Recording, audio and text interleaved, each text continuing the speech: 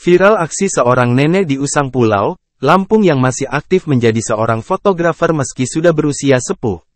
Sambil memegang kamera, nenek yang akrab disapa dengan panggilan Andung Nurma tersebut beraksi mengabadikan hari bahagia sepasang pengantin.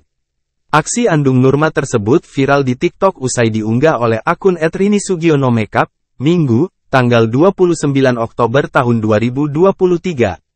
Dalam video yang beredar tampak hajatan pengantin yang sedang berlangsung di salah satu halaman rumah warga.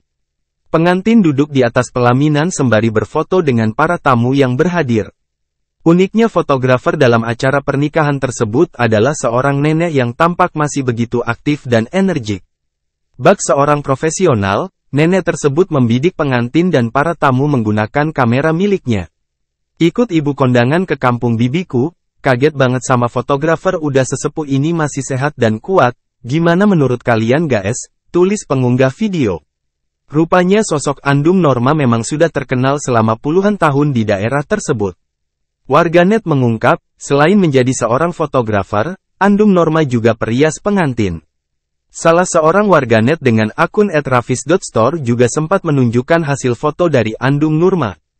Terlihat dari foto yang dibagikan, Andung Nurma memiliki kemampuan tak kalah dengan para fotografer muda kekinian.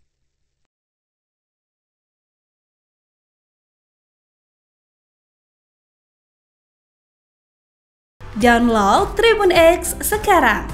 Menghadirkan lokal menjadi Indonesia.